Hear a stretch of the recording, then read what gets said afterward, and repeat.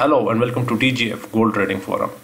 Traders, let's come to the gold market, the H4 chart and if you have seen the previous video, we were staying long on our positions because of the fact that the MA20 has crossed MA50.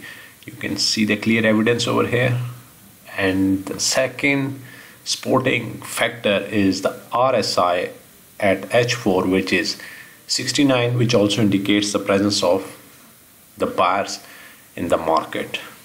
But here's a scenario and you need to be very careful over here because you can see that the bulls they are getting some weakness at this level. And this is also the previous top at this level this area. This is the previous top. You can see it over here.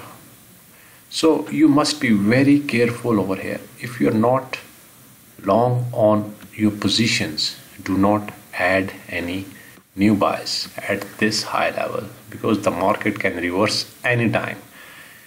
You need to wait for a pullback towards 2000 or 1995 levels then watch the price action and then you may add some long positions. We are in a buy position since we got this support level at 1940 we have some open positions.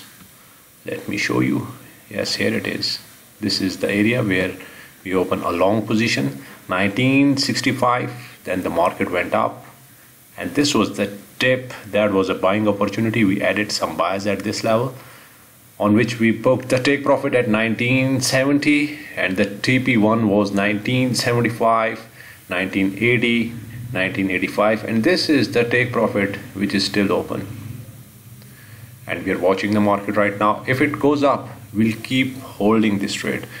If it gets a rejection we'll close this position in profits. We have moved our stop loss above our entry points at 1975 and uh, it was at 1930 levels when uh, we opened this trade.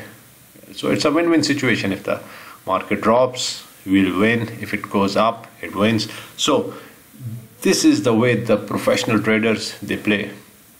On either side they are on the winning move. So this was the trade idea that was shared to the members of the VIP group on 14th of November 2023 and if you see the technical chart that's why we say that do not add new buys over here because we are long on our positions from 1965 we can handle a pullback. But if you add a new buy at this level it's too high.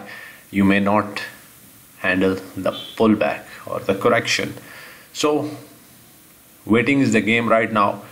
Wait for the market to break 2018 levels. The previous top over here once this is broken then you may get aggressive on your bullish positions. But right now adding new buyers is very risky. Shorting the market could be too early. So waiting is the game right now.